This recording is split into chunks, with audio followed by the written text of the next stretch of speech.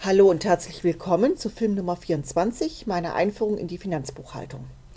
Heute versetze ich mich in die Lage eines sehr glücklichen Unternehmers, weil ich erwerbe heute ein Grundstück. Und diesen Erwerb muss ich buchen.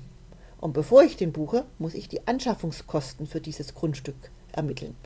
Da kann ich dieses Thema gleich schon mal schön wiederholen.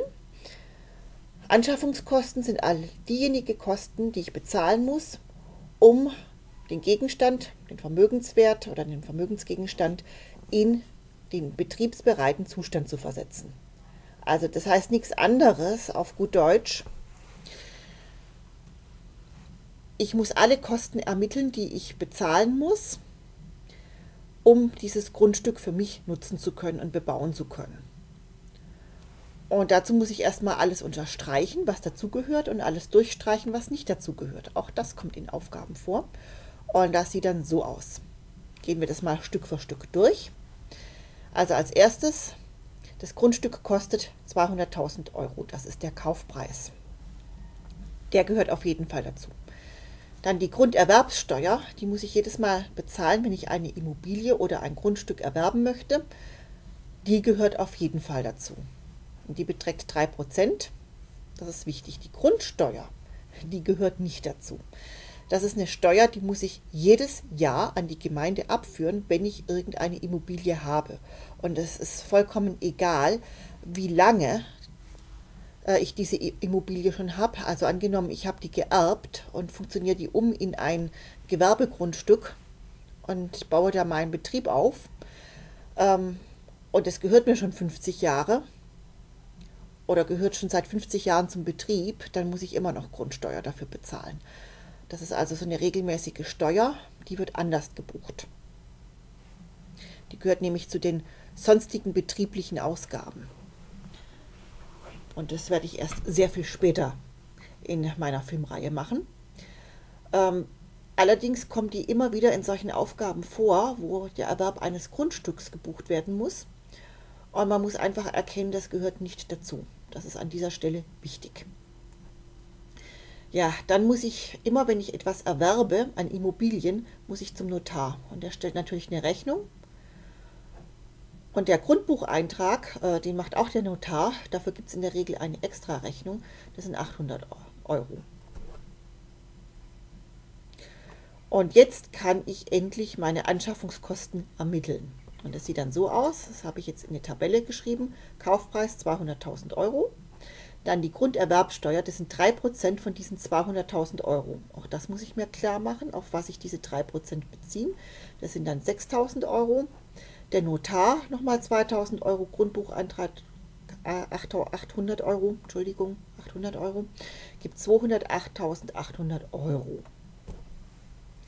So, das sind meine Anschaffungskosten. Und genau die muss ich buchen. Jetzt endlich kann ich das komplette buchen.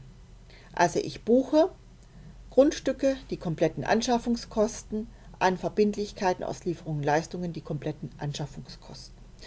Das Ganze ist eine erfolgsneutrale Buchung. Ja, deswegen habe ich sie blau gefärbt. Warum ist das so? Grundstücke, das sind eindeutig Vermögenswerte, gehört zu Vermögen dazu. Und das ist ein Aktivposten. Wir haben ja gelernt, Aktivposten erkennt man daran, dass sie Vermögen darstellen.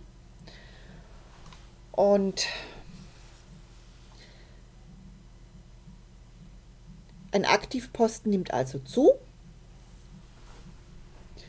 Und Verbindlichkeiten, Auslieferungen, Leistungen, ganz klar, das ist ein Passivposten, der nimmt auch kräftig zu. Also ein Aktivposten und ein Passivposten nehmen beide zu.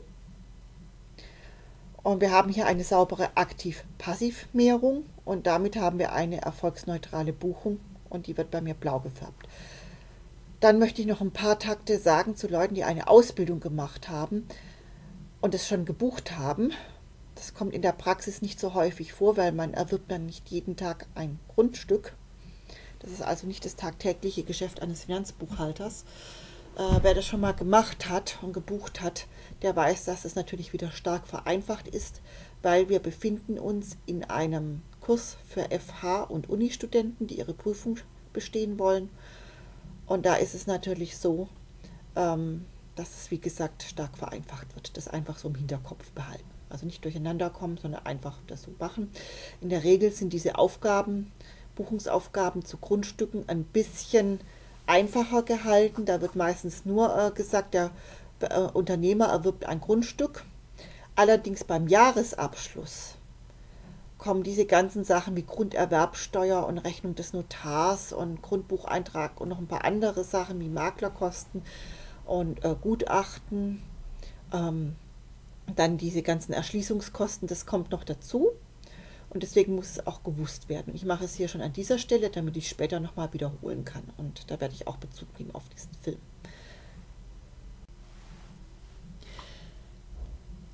Es wird mal wieder Zeit, dass wir einen Blick auf die Struktur der Konten werfen. Wir haben in Film 23 und 24 Anlagevermögen eingekauft, also hier links unten. Und das habe ich jetzt hier auch noch ein bisschen weiter verfeinert. Das gucken wir uns gleich an. So, festzustellen war, die Buchungen sind alle blau gefärbt, sprich erfolgsneutral. Das ist auch ganz logisch. Anlagevermögen, das sind Aktivposten. Und das sagt es ja schon, also Vermögen ist ja aktiv. Und ein Aktivposten vermehrt sich da immer. Und dann wird meistens gegengebucht mit Verbindlichkeit aus Lieferungen und Leistungen. Das ist ein Passivposten, der vermehrt sich ja am Haben, also nimmt auch zu. Da haben wir eine Aktiv-Passiv-Mehrung. Und damit befinden wir uns grundsätzlich beim Erwerb von Anlagevermögen im Bereich der Bestandskonten. Was anderes sind die Abschreibungen, aber die mache ich viel später. Damit hat es nichts zu tun. Wir kaufen etwas und das muss dringend in die Bücher als Vermögen eingetragen werden. Beziehungsweise dadurch, äh, wie es finanziert wird, durch Verbindlichkeiten, Auslieferungen, Leistungen oder sonst etwas. Ähm, das muss natürlich auch in die Bücher eingetragen werden. So, dann habe ich dieses Anlagevermögen ein bisschen grob unterteilt und zwar so, wie es an Unis und FHs immer unterteilt wird. Da gibt es grundsätzlich Grundstücke, die werden meistens noch ein bisschen unterteilt in bebaute und unbebaute Grundstücke, aber zu Beginn der Einführungsvorlesungen wird immer nur von Grundstücken geredet und nicht von Gebäuden. Ich habe es nie anders gesehen. Dann gibt es noch ein ganz wichtiges Konto, das habe ich jetzt nicht angesprochen in meinem Film, aber das ist eigentlich auch logisch, äh, wenn man sich vorstellt, ein Unternehmer kauft eine Drehmaschine oder eine Fräsmaschine, dann muss er die natürlich auch buchen als Vermögen. Und dieses Konto spielt immer noch eine wichtige Rolle in Uni-Vorlesungen, weil da oft von ähm, Produktionsbetrieben die Rede ist, vor allem in der Einführung in die BWL. Das sind ganz oft Produktionsbetriebe und diese Produktionsbetriebe, ähm, die müssen natürlich auch in der Rech ähm, Einführung in das Rechnungswesen sich wiederfinden. Und deswegen ist dieses Konto grundsätzlich dabei. Wenn ihr einen Kontenrahmen habt, auch mit einer extra Nummer. So, dann hatte ich gesagt, Büromöbel, Bürostühle, äh, Büromaschinen, äh, PCs, EDV, äh, ja, und auch ähm, LKW und PKW, die für den Betrieb angeschafft werden, die fassen wir zusammen unter Betriebs- und Geschäftsausstattung. Das ist das Konto BGA. Das hat es äh, bisher an jeder FH und Uni ähm, von der ich Schüler hatte, so gesehen, dass es zusammengefasst wird.